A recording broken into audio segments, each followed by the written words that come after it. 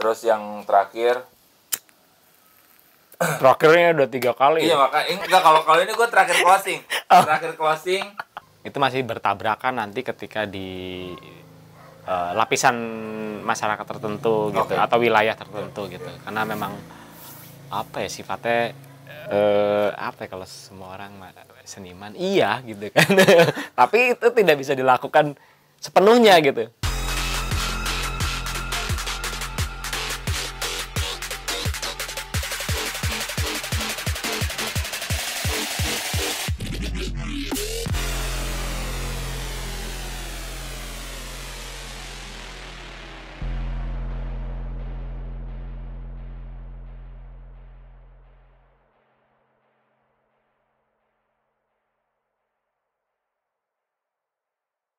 misalnya misalnya misalnya eh gua nggak sabar terus kan di misalnya di Instagram ya gue pakai layanan iklan di Instagram.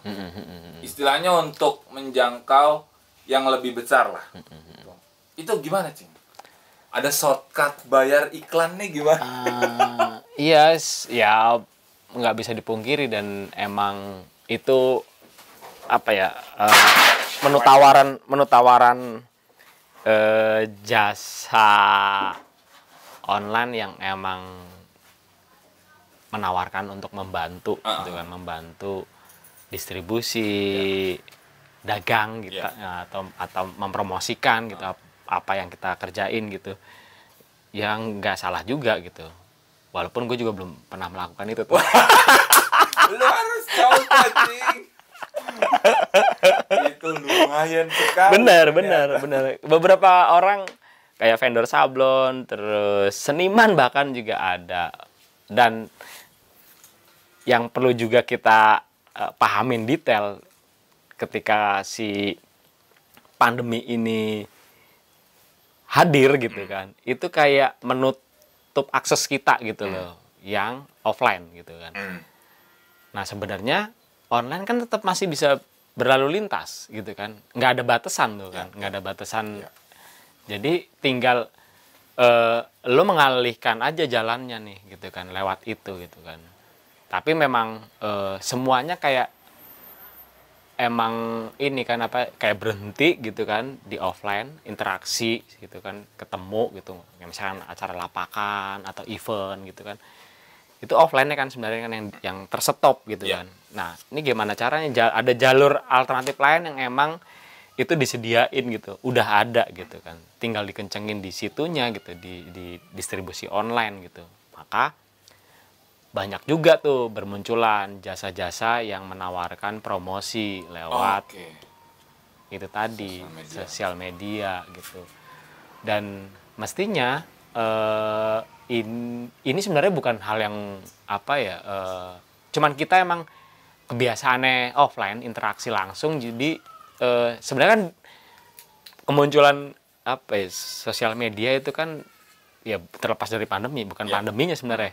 Dari dulu udah ada kayak misalkan lo harus lo penting bukan harus tapi lo penting memiliki website. Ya. Lo penting memiliki sosial media gitu Ya. kan. Eh, mungkin sebelum pandemi pada saat itu ada kayak hal behind the scene nggak dikasih lihat. Hmm. dan ah, proses lo nggak diceritain gitu kan. Ya itu kayak ngati-hati banget gitu loh kan. Oh iya, ntar ini ntar itu gitu kan. Ya, jadi udahlah jangan gitu kan. Mhm. tapi gimana kalau misalnya ketika semua di stop gitu kan dengan pandemi? Lo mau produksi banyak orang nggak tahu.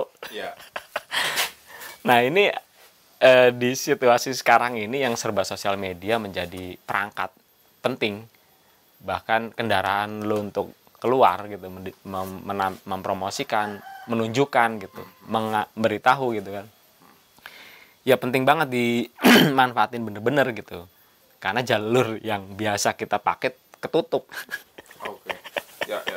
ya, nggak salah gitu kan nggak salah gitu kan kemunculan itu terus akhirnya ya disambut baik juga gitu. apalagi kayak semuanya orang bisa jadi media.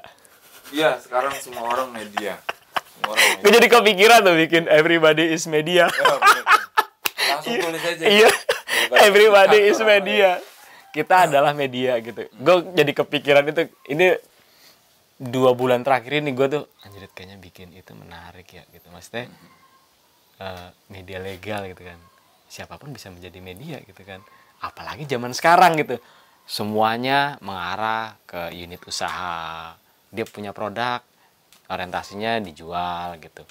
Buat ya apa ya buat perkembangan saat ini ketika dia emang eh, punya ide gagasan yang diimplementasiin ke sesuatu produk atau apa eh, eh, yang itu bisa digunakan oleh orang lain gitu. Ya ke arah situ semua gitu. Eh, itu menarik sih. Gue menarik lu tadi apa eh, kita adalah media gitu kan. Kalau dulu kan sempat bukan yang nggak dulu dulu amat sih. Maksudnya gue sempat baca baca juga semua orang adalah seniman. Oh. Nah senimannya dicoretin set jadi semua orang adalah media.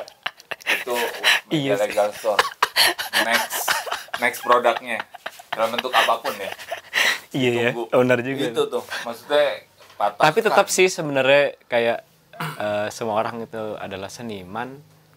Eh, itu masih bertabrakan nanti ketika di eh, lapisan masyarakat tertentu gitu Oke. atau wilayah tertentu gitu. Karena memang apa ya sifatnya eh, apa ya kalau semua orang seniman. Iya gitu kan.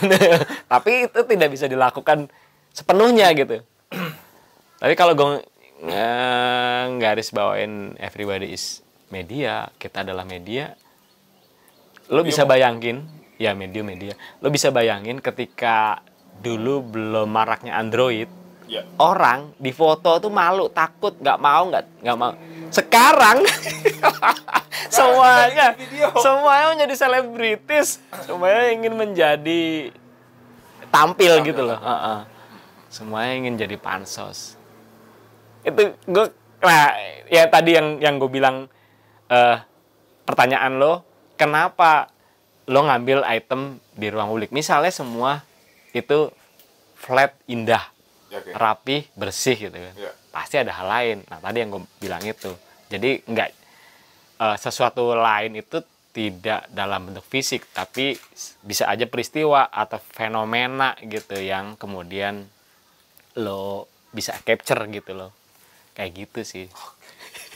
Kayak kayak misalnya lo eh, mengambil eh, itu menjadi brand tote bag. Kan itu kayak apa ya kayak bahasa terapan ya serapan yang di masyarakat gitu.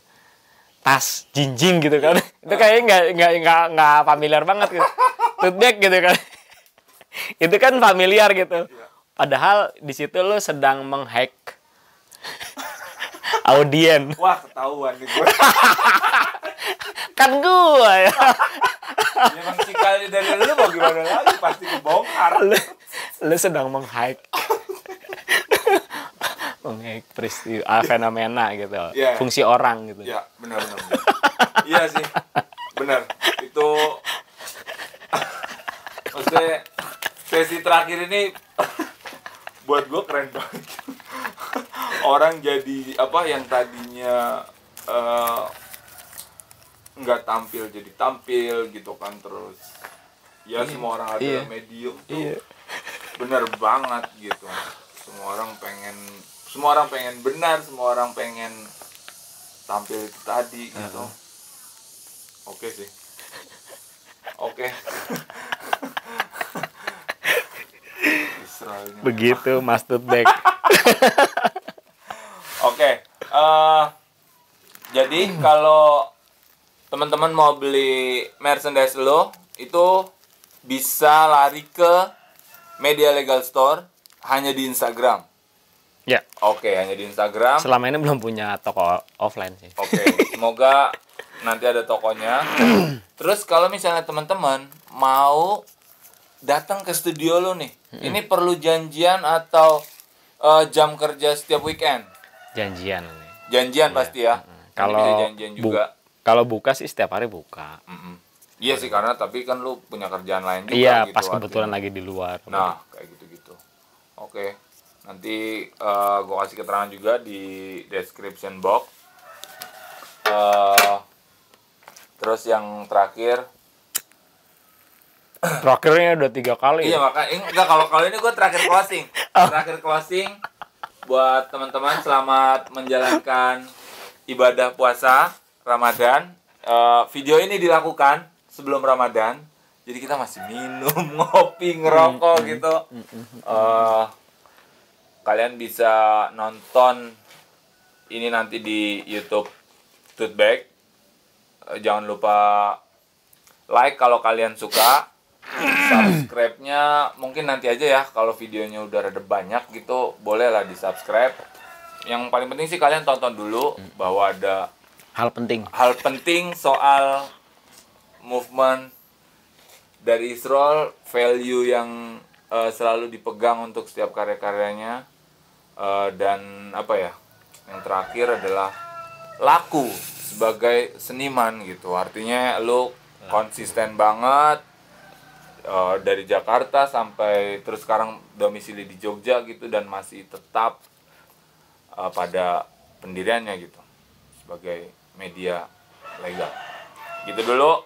Uh, terima kasih Israel Media Legal waktunya. Terima kasih Media Legal Studio. Wah, Media Legal Studio ntar akun sendiri loh. enggak ada sendiri ada Ada sendiri Media ada Legal Studio. bukan media Legal studio cut and print studio cut, Wah, cut, cut, print and studio print studio ntar juga gue taro biar lu bisa nyontek-nyontek bagaimana proses Israel mengerjakan karya-karya atau merchandise-nya.